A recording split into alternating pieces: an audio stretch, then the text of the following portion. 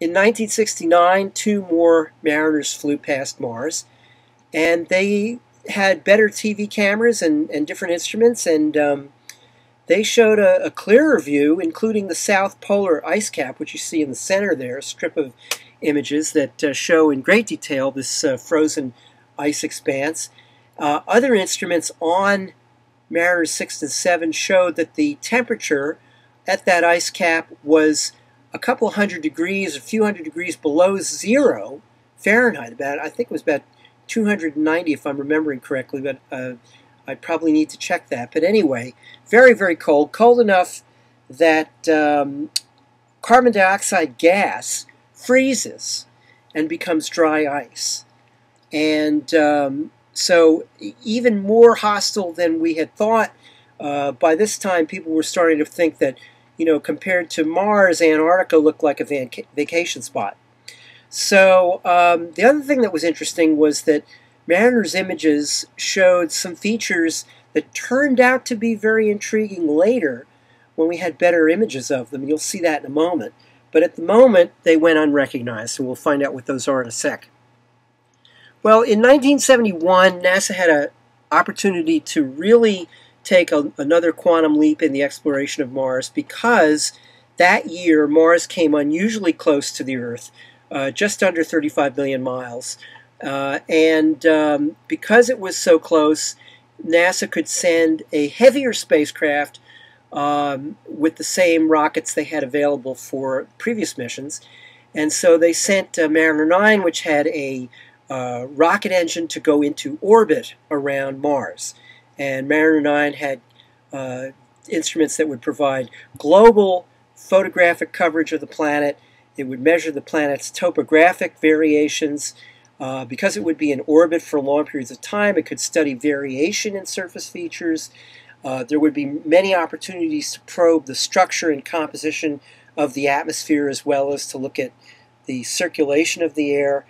And um, to monitor surface temperatures with an infrared radiometer, and also a nice opportunity to get the first close-up images of the two Martian moons, Phobos and Deimos. Well, Mariner 9 arrived at the height of a global dust storm, and on the left, you can see in the fall of 1971 what it looked like. Mars was basically uh, featureless except for a, a few dark spots, and when they did a little image processing, they realized that these dark spots had craters in them. then they realized, well, wait a second, if they if we can see it through all these dust, all this dust, they must be very high above the surface and they must be on mountains. Well, you don't find craters uh, randomly scattered at the peaks of mountains uh, several times. And so they realized that this must be giant volcanoes on Mars. And lo and behold, there is one of them on the right, actually the largest one it's called Olympus Mons. It is so big that if you plunked it down on the United States, it would cover Arizona. And the summit crater is the size of Rhode Island. So this is, in fact, the world's largest volcano on a world half the size of Earth. And there were other surprises. Um, there was a canyon system as long as the United States, uh, which told of tremendous forces that had ripped the crust of Mars apart billions of years before. This uh, is just an enormous canyon system that was later christened for the Mariner 9 spacecraft in, in uh, Latin Valles Marineris. Um, the Grand Canyon, just for your reference, would be about the size of one of the tiniest little gashes at the edge of this uh, giant canyon system. And perhaps the greatest surprise of all was that on this planet that everyone thought was so uh, desolate and uh, dry was a sign that uh, it had once been much warmer and much wetter. There were channels that looked like they had been carved by running water, and uh, there were uh, variations in the climate preserved as layers of ice and dust at the Martian poles. And so these were tremendously intriguing signs that the Mars we see today was not the Mars of billions of years ago. Well, at that point, NASA was already looking ahead to an even more ambitious mission to land on Mars and search for life there. And here you see the Viking lander, which was launched in 1976. Actually, there were two of them. They were each equipped with uh, cameras, uh, a robotic arm to dig into the surface and scoop up samples of Martian dust, and uh, actually uh, instruments on board to look for signs of microbial life and also to analyze the chemistry of the surface. And there on the right, you also see a um, another sort of arm or fixed boom with instruments to analyze the uh, the weather on Mars. Well, the the Viking lander was encased in its own entry capsule.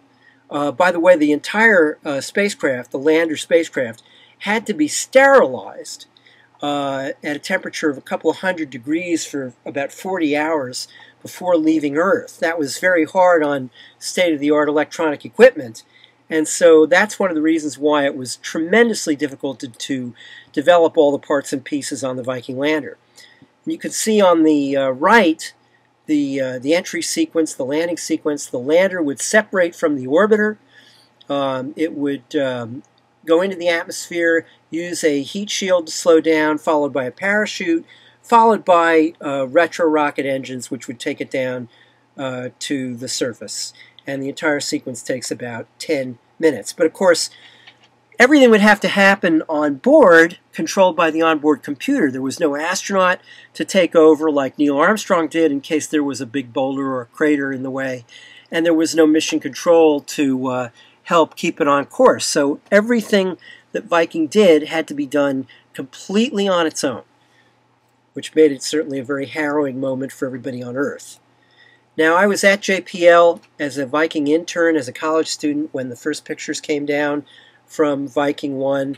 Uh, my professor, my geology professor, uh, Thomas Mutch, was uh, on national television as the pictures came in. And there you see what uh, we all saw Top picture is a strip uh, pointed roughly at the footpad on the spacecraft, and you can see very clearly uh, rocks and um, pebbles and a kind of a, a, very fine dusty surface.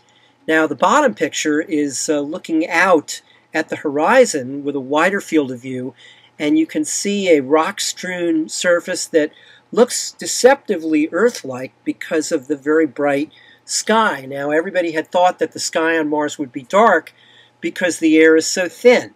But it turns out that there is a lot of dust that just floats in that very thin atmosphere and it scatters sunlight and makes the sky look surprisingly bright. But when the color pictures came down, they revealed that indeed the red planet is red uh, because the, the very fine dusty coating on everything and the dusty uh, material all over the surface is coated with a layer of iron oxide, uh, otherwise known as rust. And so this gives the surface a reddish hue, and it even colors the sky a kind of a salmon or peach color, depending on which uh, photograph you look at. Now, the interesting thing was when uh, Dr. Mutch, the leader of the imaging team, and my professor uh, asked for them to take, asked for uh, mission planners to take a picture of the sunset on Mars. He got a little bit of resistance for that because nobody thought it would be very good or that it would have very much information in it, but it turned out to be very good and very interesting. And you can see on the bottom right that when the sun sets on Mars or when it rises, the, uh, the sunlight is now interacting with the dust in a different manner than during the daytime. It's actually uh, doing what's called forward scattering instead of back scattering, and this causes the sky to be blue. So it's the reverse of what it is here on Earth. The sun, uh, the sky on Mars during the day is pink, and at sunrise and sunset it is blue.